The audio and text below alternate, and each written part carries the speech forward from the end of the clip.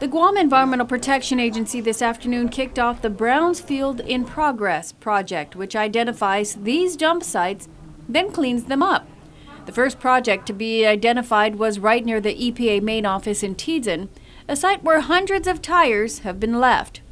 EPA Administrator Lorilee Crisostomo says the tires were taken to the transition site following one of the big typhoons several years ago. Back in 2002, uh, Super Typhoon Pongsona, uh, Guam EPA was out there working with the mayors to do some transitional trash sites um, for us to, for the residents to come and put their, their debris, uh, some of their white goods, and it was not supposed to get too extended out, but it, eventually it became tires and abandoned vehicles. Following the storm, money from the Federal Emergency Management Agency helped to clean up some of that site.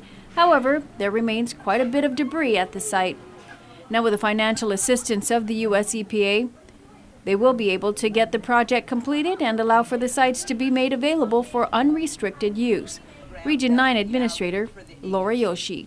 The Brownfields program really was intended to recognize the, the, the waste, really, of leaving contaminated areas um, unaddressed.